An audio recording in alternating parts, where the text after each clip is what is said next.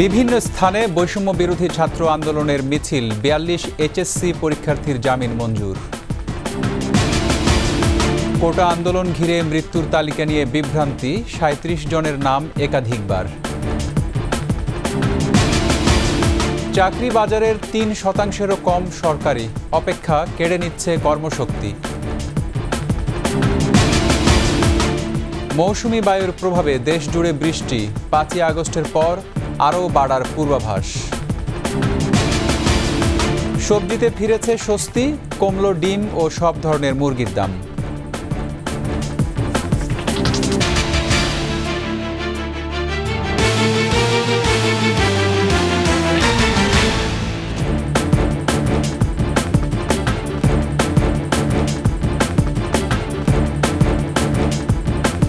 শুনছিলেন first security Islami bank PLC সংবাদ শিরোনাম, আমন্ত্রণ সন্ধ্যা সাতটার একুশের সংবাদে।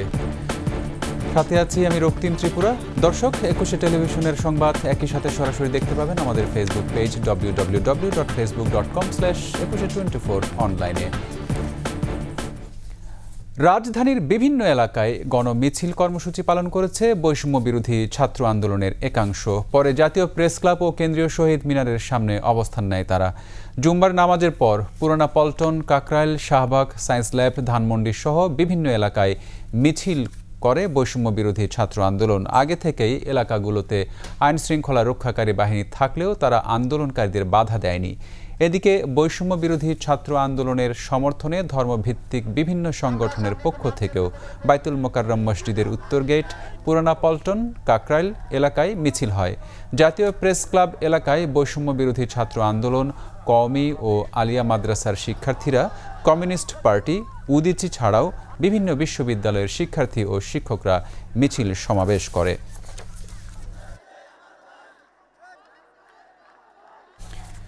এদিকে দেশের বিভিন্ন স্থানে মিছিল ও সমাবেশ করেছে কোটা বিরোধী আন্দোলনকারীরা।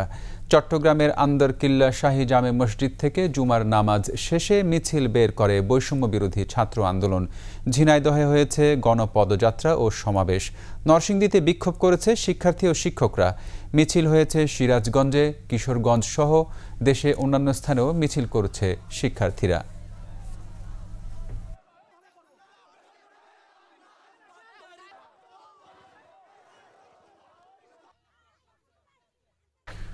কোটা সংস্কার আন্দোলনকে কেন্দ্র করে সহিংসতার অভিযোগে করা মামলায় গ্রেফতার বিয়াল্লিশ এইচএসসি পরীক্ষার্থীদের জামিন মঞ্জুর করেছেন আদালত।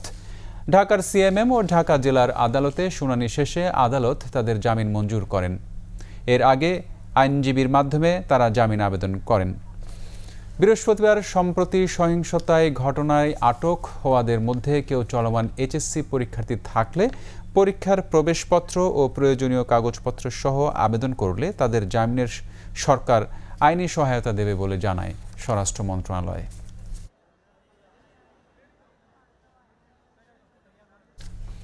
কোটা সংস্কার আন্দোলনের প্রধান দাবি পূরণ করে প্রজ্ঞাপন জারি করা হয়েছে। ফলে শিক্ষার্থীরা শ্রেণীকক্ষে ও পরীক্ষার হলে ফিরে যাবে এমন প্রত্যাশা জানিয়েছেন আওয়ামী লীগ সাধারণ সম্পাদক ওবায়দুল কাদের। ধানমন্ডিতে আওয়ামী লীগ সভাপতির রাজনৈতিক কার্যালয়ে সংবাদ সম্মেলনে তিনি বলেন, শিক্ষার্থীরা শ্রেণীকক্ষে পরীক্ষার হলে ফিরে যাবে। তারা কারও অশুভ রাজনীতির ঢাল হিসেবে ব্যবহার হোক, এটা জাতি চায় না। তিনি বলেন, শিক্ষার্থীরা কোনোভাবেই সরকারের প্রতিপক্ষ নয়। আদালতের রায়ের পর সরকারের পক্ষ থেকে কোনো সময় ক্ষেপণ না করে এই প্রজ্ঞাপন জারি করা হয়েছে। তারপরও একটি মহল সরকার বনাম শিক্ষার্থী গেম খেলে ফায়দা লোটার অপচেষ্টা করছে।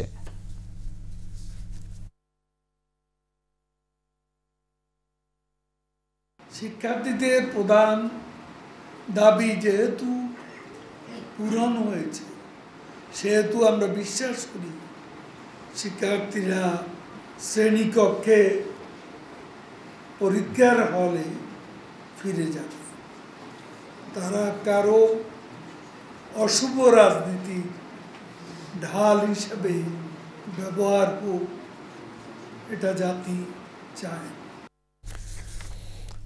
কোটা সংস্কার আন্দোলনকে কেন্দ্র করে সহিংসতায় দুইশো ছেষট্টি জন নিহত হওয়ার দাবি করেছেন বৈষম্য বিরোধী ছাত্র আন্দোলনের তিন সমন্বয়ক। তাদের বানানো তালিকায় সাঁত্রিশ জনের নাম একাধিকবার ব্যবহার করা হয়েছে।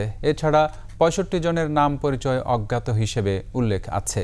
জামায়াত বিএনপির তালিকার সাথে বৈষম্য বিরোধী ছাত্র আন্দোলনের তালিকার হুবহু মিল রয়েছে। তালিকাটি তৈরিতে সহায়তা করে মার্কিন ন্যাশনাল মার্কিন সংস্থা ন্যাশনাল এন্ডাওমেন্ট ফর ডেমোক্রেসি এনইডির অর্থায়নে পরিচালিত সুইডেন ভিত্তিক অনলাইন পোর্টাল নেত্র নিউজের প্রধান সম্পাদক তাসনিম খলিল। মানিক শিকদারের রিপোর্ট। বিদেশে বসে সরকার বিরোধী প্রচারণা চালাচ্ছে তাসনিম খলিল। এই খলিলের পরামর্শেই কোটা সংস্কার আন্দোলনের তিন সমন্বয়ক সাম্প্রতিক সহিংসতায় নিহতদের নামের তালিকা প্রকাশ করেছে। এ বিষয়ে তিন সমন্বয়কের বক্তব্য বিএনপি জামায়াত তাদের অফিসিয়াল সাইটে প্রচার করেছে। আন্দোলনের কর্মসূচি প্রচারে বিএনপি জামায়াতের ওয়েবসাইট ইউটিউব চ্যানেল ও ফেসবুক পেজ ব্যবহার হচ্ছে। শুরুতে বলে দিই রিমেম্বারিং আওয়ার হিরোজ কর্মসূচিটি অনলাইন এবং অফলাইন দুইটি কর্মসূচি আগামীকালকে পালিত হবে। কোটা সংস্কার আন্দোলনে নিহতদের তালিকা বত্রিশ জনের নাম, দুইবার করে পাঁচ জনের নাম, তিনবার করে উল্লেখ করা আছে। একই তালিকা বিএনপি জামায়াতও প্রকাশ করেছে। তালিকায় বর্ণনা অনুযায়ী একই ব্যক্তি যেখানে নিহত হন সেখানে একবার এবং হাসপাতাল ও মর্গের রিপোর্ট অনুযায়ী আরেকবার তাদের নাম তালিকায় উঠে এসেছে। তালিকায় নিহত পঁয়ষট্টি জনের পরিচয় দেয়া হয়নি। নাম পরিচয়হীন ব্যক্তিদের এই তালিকা কোটা সংস্কার আন্দোলন কোথায় পেল তার উল্লেখ নেই কোথাও।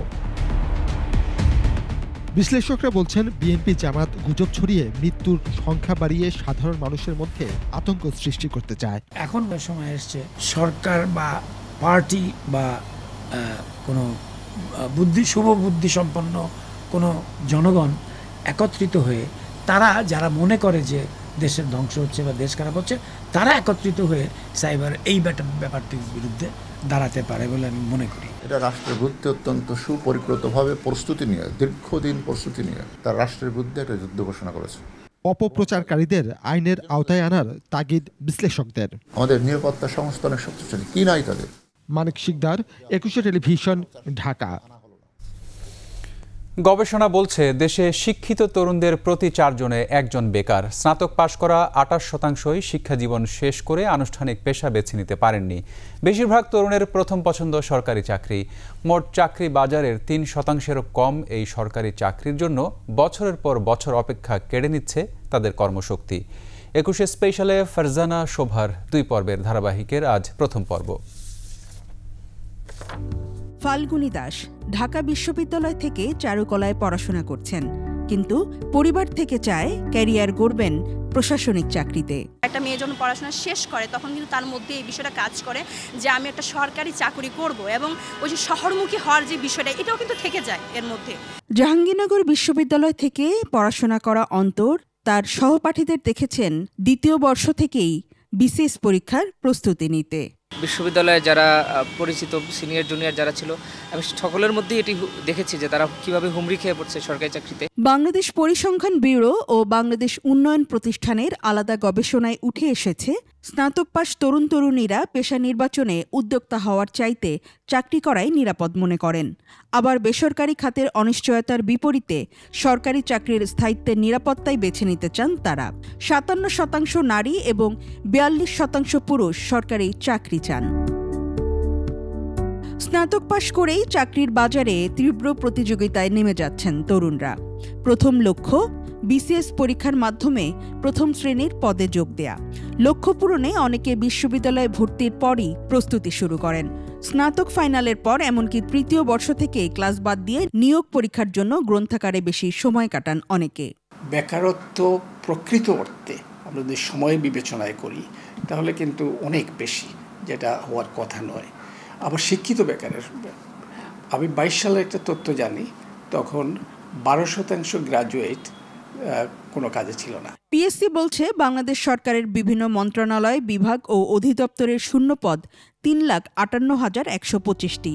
আর গেল দশ বছরের তথ্য হিসেব করলে দেখা যায়, গড়ে দু হাজার পদের জন্য প্রতি বছর বিসিএস পরীক্ষা দিচ্ছেন চার লাখেরও বেশি তরুণ। মোট জনসংখ্যার এক শতাংশ মানুষও সরকারি চাকরি করার সুযোগ পাবেন না। আমাদের এখানে কর্মক্ষেত্রে আমরা বাইরে থেকে স্পেশালাইজড লোক নিয়ে আসছি। হ্যাঁ এবং বলা হচ্ছে যে ওই জায়গায় আমাদের দক্ষতার অভাব আছে আর কি। তাহলে আমাদের লেখাপড়া, দক্ষতা, জবের সিচুয়েশন এখানে একটা বড় ধরনের একটা মিসম্যাচ কিন্তু বিজয়ের উপর জমা আছে, যেটাকে আমি একটা স্ট্রাকচারাল প্রবলেম হিসেবে আমি বলছি। বিশেষজ্ঞরা বলছেন, মেধা ও কর্মশক্তির সর্বোচ্চ বিনিয়োগ নিশ্চিত করতে নিরানব্বই শতাংশ মানুষকেই অন্য পেশা বেছে নিতে হবে। এই বাস্তবতা মেনে নিয়েই কেবল সরকারি চাকরির পেছনে না ছুটে বিকল্প চিন্তাও রাখতে হবে। মূল স্রোতধারায় তাদেরকে একীভূত করার জন্য যেই যেই ধরনের জ্ঞান এবং স্কিল দরকার, যারা অন্যদের সাথে, অন্য স্ট্রিমের সাথে তারা কম্পিট করতে পারবে, এই জিনিসগুলি তাদেরকে দিতে হবে। সংশ্লিষ্টরা বলছেন, বেসরকারি খাতে বিশেষায়িত বিনিয়োগ বাড়িয়ে বেসরকারি চাকরি, উদ্যোক্তা, ব্যবসায়ী বা ফ্রিল্যান্সারদের জন্য ক্ষেত্র প্রস্তুত না করা হলে আগামী প্রজন্মের বেকার সমস্যা সীমা ছাড়াতে পারে। ফারজানা শোভা একুশে টেলিভিশন ঢাকা। মৌসুমি বায়ুর প্রভাবে পুরো আগস্ট মাস জুড়েই বৃষ্টি হবে বলে জানিয়েছে আবহাওয়া অফিস। তবে আগামী দুই দিন বৃষ্টির পরিমাণ কিছুটা কম থাকলেও পাঁচই আগস্টের পর থেকে বৃষ্টি আবারও বাড়বে। ভারী বর্ষণে তিস্তা ও সুরমা অববাহিকায় জলাবদ্ধতার পাশাপাশি পার্বত্য এলাকায় ভূমিধসের আশঙ্কা রয়েছে। এদিকে ভারী বৃষ্টির কারণে মোংলা বন্দরে জাহাজ থেকে পণ্য খালাস ব্যাহত হচ্ছে। প্রতিনিধিদের সহায়তায় মফিউর রহমানের রিপোর্ট। বর্ষাকাল বেশ আগে শুরু হলেও এতদিন খুব একটা বৃষ্টি ছিল না।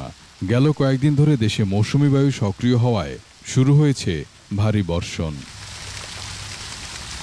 আবহাওয়া অফিস বলছে, দু একদিন বাদে প্রায় পুরো আগস্ট মাস জুড়েই ভারী বৃষ্টির সম্ভাবনা রয়েছে। তিন তারিখ সকাল থেকে চার তারিখ, অর্থাৎ চৌঠা আগস্ট বিকেল বিকেল পর্যন্ত তীব্রতা একটু কম থাকবে, কিন্তু এরপরে আবার বৃষ্টিপাতের তীব্রতা পাঁচই আগস্ট থেকে বৃদ্ধি পেয়ে দশ তারিখ পর্যন্ত অব্যাহত থাকতে পারে। ভারী বৃষ্টির প্রভাবে তিস্তা ও সুরমা কুশিয়ারা অববাহিকায় জলাবদ্ধতা হতে পারে। একই সাথে পার্বত্য এলাকায় ভূমিধসের আশঙ্কাও রয়েছে। চট্টগ্রাম সন্দ্বীপ মহেশখালী বান্দরবান রাঙামাটি হ্যাঁ কুতুবদিয়া এইসব অঞ্চলে কক্সবাজার টেকনাফ এইসব অঞ্চলে ব্যাপক বৃষ্টিপাত অতি ভারী বৃষ্টিপাত হয়েছে এবং আজকেও তা অব্যাহত রয়েছে অলরেডি সুতরাং এই অতি ভারী বৃষ্টিপাতের কারণে চট্টগ্রামের পাহাড়ি এলাকায় ভূমিধসের সমূহ সম্ভাবনা তৈরি হয়েছে এবং তা ত্বরান্বিত হতে পারে। সমুদ্র বন্দরগুলোকে তিন নম্বর সতর্ক সংকেত দেখাতে বলা হয়েছে। এছাড়া উপকূলীয় জেলাগুলোতে ঝোড়ো হাওয়ার পূর্বাভাস দিয়েছে আবহাওয়া অফিস। উপকূলীয় জেলাগুলোতে অস্থায়ীভাবে দমকা বাতাস ও ঝোড়ো হাওয়া সহ বৃষ্টি অথবা বজ্র বজ্রসহ বৃষ্টি হতে পারে। ভারী বৃষ্টিতে দুর্ভোগ সৃষ্টি হয়েছে মংলা পৌর শহরের বিভিন্ন এলাকায়। ব্যাহত পণ্য খালাস। কক্সবাজারের নিম্নাঞ্চলের কিছু এলাকা নতুন করে প্লাবিত হয়েছে। জেলার চকরিয়া, রামু ও পেকুয়া উপজেলার পনেরোটি ইউনিয়নের প্রায় এক লাখের বেশি মানুষ পানিবন্দী অবস্থায় রয়েছে।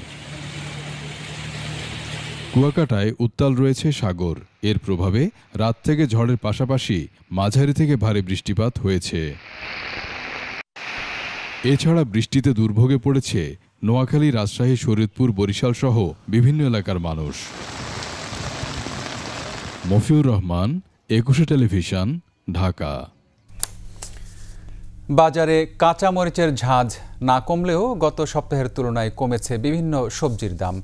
সপ্তাহের ব্যবধানে ব্রয়লার ও সোনালী মুরগির দাম কমেছে কেজি প্রতি দশ থেকে বিশ টাকা করে। ডিমের ডজন পাঁচ টাকা কমে, খুচরা বিক্রি হচ্ছে একশো পঁয়তাল্লিশ টাকায়। বিক্রেতারা বলছেন, পরিস্থিতি বিবেচনায় সরবরাহ যথেষ্ট থাকলেও ক্রেতা কম থাকায় নিত্যপণ্যের দর কিছুটা কমতির দিকে। এছাড়া মাছের দরও রয়েছে স্থিতিশীল। বিস্তারিত জানাচ্ছেন পার্থ সারথী। কোটা আন্দোলনকে কেন্দ্র করে চলমান পরিস্থিতিতে বাজার অস্থিতিশীল হয়ে ওঠার আশঙ্কা থাকলেও সে প্রভাব দেখা যায়নি। সবজির বাজারে ফিরেছে স্বস্তি। কোনো কোনো সবজির দাম কেজি প্রতি অর্ধেকে নেমেছে। তবে কমেনি কাঁচামরিচের ঝাঁঝ বেগুন গোল্ডা হচ্ছে আপনার পঞ্চাশ কেজি লতি আছে চল্লিশ টমেটো হচ্ছে একশো তিরিশ কেজি ঝিঙ্গা হচ্ছে চল্লিশ কেজি। বাজার আজকে মোটামুটি একটু মধ্যে আর কি নাগালের মধ্যেই মনে হচ্ছে। সবজির বাজারটা আজকে তো আমার মনে হচ্ছে কন্ট্রোলে আছে। মরিচের দামটা বেশি আজকে। ব্রয়লার ও সোনালী মুরগির দাম পড়তির দিকে। বিক্রেতারা বলছেন পরিস্থিতি বিবেচনায় সরবরাহ স্বাভাবিক। ডিমের দামও আরও কমার ইঙ্গিত বিক্রেতাদের। ব্রয়লার বিক্রি হচ্ছে একশো সত্তর টাকা। আর আপনার পাখি সোনালি অরিজিনালটা বিক্রি হচ্ছে একশো সত্তর দুশো সত্তর টাকা আশি টাকা। আর আপনার দুই চার দিন আগের ঘটনা ছিল দুশো নব্বই টাকা তিনশো টাকা। সেই হিসেব করে এখন তুলনায় দাম একটু কম। যে বাজারটা ঊর্ধ্বগতি হয়েছিল সেটা হিসেবে বাজার এখন একটু কম। সরবরাহ আছে যথেষ্টই আছে কিন্তু তারপরও তুলনামূলকভাবে চাহিদা কমের থেকে আর কি বাজারটাও একটু কম। মাছের বাজারও রয়েছে স্থিতিশীল। দেশি ও চাষের মাছ কেজি প্রতি ৩০ থেকে পঞ্চাশ টাকা কম বেশি। এদিকে ইলিশের যোগানও যথেষ্ট। মাছের দামটা মোটামুটি আছে। সামনে যদি মাছের দাম আমদানি বেশি আছে বেশি দিন লাগবে না দুই তিন দিনের ভিতরেই মাছের দাম কমে যাবে। বাচ্চা মাছটা আগে বেচছি আমরা পাঁচশো আজ ব্যস্ত আছি পাঁচশো ব্যস্ত আছি বিশ টাকা কমে আনছি বা আরও বিশ টাকা কমেও বেচতেছি। নদীর মাছটা যেগুলো আছে এগুলো একটু দাম সবসময় বেশি থাকে। আজকে দেখলাম একটু আরও একটু বেশি। বাজার সরবরাহ ঠিক আছে। অন্যদিকে চাল ডাল আটা ময়দা সরকার নির্ধারিত দামেই বিক্রি হচ্ছে। পার্থসারথী একুশে টেলিভিশন ঢাকা। নিচ্ছি সংবাদ বিরতি ফিরে এসে অন্যান্য সংবাদের সঙ্গে আরও যা থাকছে। নীলফামারীতে সহিংসতার আগুনে পুড়েছে পুলিশ বক্স, সরকারি অফিস। চার মামলায় আটক আটান্ন।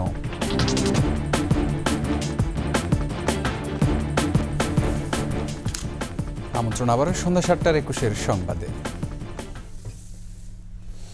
কোটা সংস্কার আন্দোলন ঘিরে সহিংসতায় গণমাধ্যম কর্মী হতাহতের ঘটনায় প্রতিবাদ সমাবেশ করেছে সহকর্মীরা।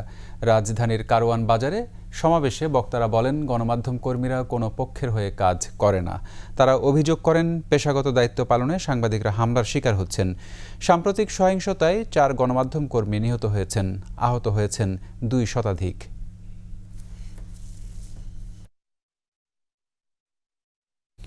জানব সাম্প্রতিক নাশকতার আরও খবর।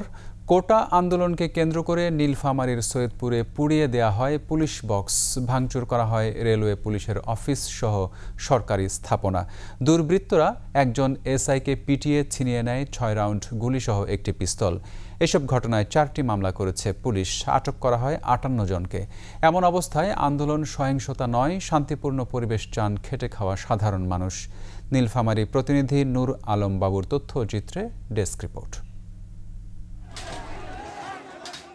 আন্দোলনের নামে আঠারো জুলাই নীলফামারীর সৈয়দপুরের পাঁচ মাথা মোড়ের পুলিশ বক্স সহ পুলিশের পাঁচটি মোটরসাইকেল পুড়িয়ে দেয় দুর্বৃত্তরা। তারা রেলওয়ে পুলিশ সুপারের কার্যালয়ের দরজা এবং মোড়ে থাকা বঙ্গবন্ধুর প্রতিকৃতি ভেঙে ফেলে। এক পুলিশকে পিটিয়ে ছিনিয়ে নেওয়া হয় ছয় রাউন্ড গুলিসহ একটি পিস্তল। এছাড়াও চৌরঙ্গি মোড়ের পুলিশ বক্স ডিসি কার্যালয় ও বাংলো সহ সরকারি বেসরকারি স্থাপনায় হামলা ও ভাঙচুর করা হয়। এ সময় আহত হয় পুলিশ ও গণমাধ্যম কর্মী। এমন সহিংসতায় ক্ষুব্ধ স্থানীয়রা। ওই সময় তারা হঠাৎ করে অদৃকতভাবে হামলা করে এবং হচ্ছে যে আমরা ডিসি অফিসের ভিতরে ঢুকে যাওয়াতে তারা ইট পাথর নিক্ষেপ করে এবং আমার মাথাতে আঘাত পাওয়ার পরে আমার অনেক রক্তক্ষরণ হয়। ওদের সাথে কিছু দুর্বৃত্তকারী কিছু জামাত বিএনপির লোক ছিল আর যেটা আমি দেখছি। এই পুলিশ বক্সরা জ্বালাই দিল। আর বঙ্গবন্ধুর মুরালটা যারা ভাঙছে তাদের বিচার যেন বাংলার মাটিতে হয়। আমরা দিন মজুর আমার দিন মিলিয়ে দিন খাই। সেটা যদি বন্ধ হয়ে যাচ্ছে আমরা খাব আসব কীভাবে খাব কীভাবে? আমার সরকারি সুস্থ মনে চলুক শান্তি মনে চলুক দেশ কোনো কোনো সৃষ্টি যদি না হয় এই পদ্ধতি আমরা মানিয়ে চলি। সহিংসতায় পুলিশের প্রায় পঁচিশ লাখ টাকার ক্ষতি হয়েছে। আটক করা হয় আটান্ন নাশকতাকারী। সব মিলে আমাদের এই পর্যন্ত এই দুই জায়গাতে তিন চারটি মামলা হয়েছে। একটি হলো সৈয়দপুর নীল নীলকুমার থানাতে একটি মামলা এবং এই মামলায় আমাদের অ্যারেস্ট আছে হলো সতেরো জন। আর নীলকুমার সৈয়দপুরে হয়েছে তিনটি মামলা। এই তিনটি মামলায় এই পর্যন্ত আমাদের অ্যারেস্ট হয়েছে হলো হচ্ছে একচল্লিশ জন। এই সর্বমোট আমাদের আটান্ন জন অ্যারেস্ট আছে। এদিকে কয়েকদিনের সহিংসতায় কষ্টে কেটেছে দিনমজুর আর খেটে খাওয়া সাধারণ মানুষের। তাই আর আন্দোলন সহিংসতা আতঙ্ক নয় শান্তি চায় তারা। আমরা এই যে রিক্সাওয়ালা ভ্যানওয়ালা কামাই করি পারি না। দুই মুঠ খাবার পারি না। আমরা এই নীলফামারী এলাকায় আমরা শান্তি চাই। আমরা বউ বাচ্চা নিয়ে এক বেলা খাচ্ছি দুই বেলা না খেয়ে আসি। সেটা তো কেউ আমাদেরকে জিজ্ঞাসা করে নাই যে তোমরা খেয়ে আসো কি না খেয়ে আসো। হ্যাঁ আমরা তো চাই সুখ আর শান্তি। Banushri Dolly desk report Ekushey television. শোকাবহ আগস্ট।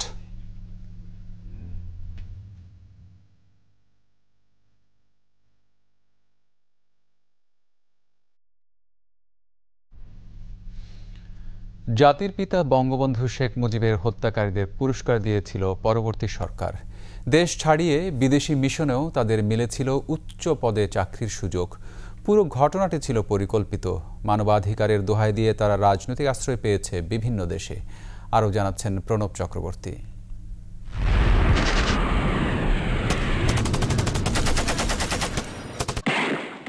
মুক্তিযুদ্ধ যদি হয় প্রথম বিপ্লব তাহলে বঙ্গবন্ধু শেখ মুজিবের দ্বিতীয় বিপ্লব ছিল স্বাধীনতার পর সোনার বাংলা গড়ার প্রত্যয়।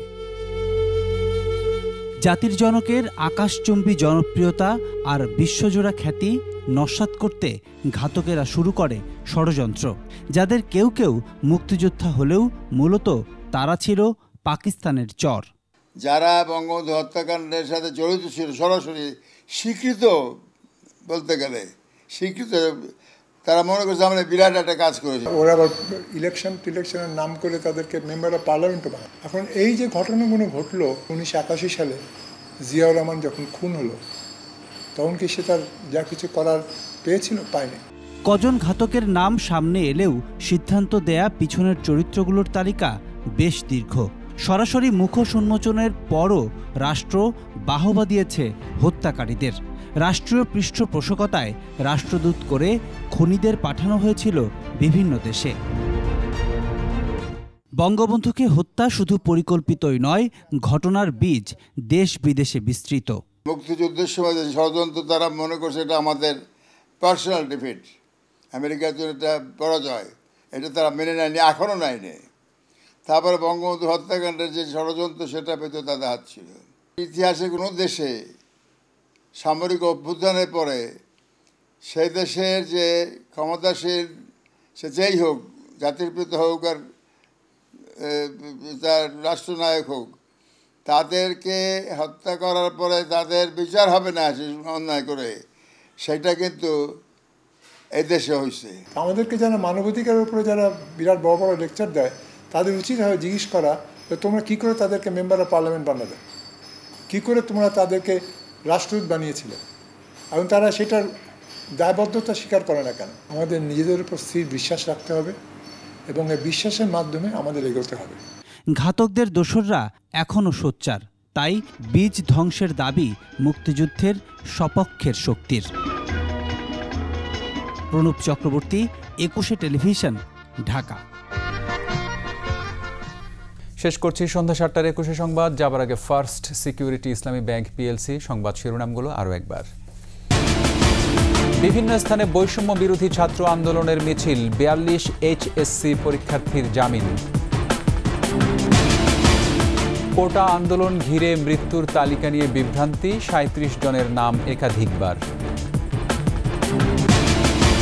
চাকরি বাজারের তিন শতাংশেরও কম সরকারি, অপেক্ষা কেড়ে নিচ্ছে কর্মশক্তি। মৌসুমি বায়ুর প্রভাবে দেশ জুড়ে বৃষ্টি, পাঁচই আগস্টের পর আরও বাড়ার পূর্বাভাস। সবজিতে ফিরেছে স্বস্তি, কমলো ডিম ও সব ধরনের মুরগির দাম।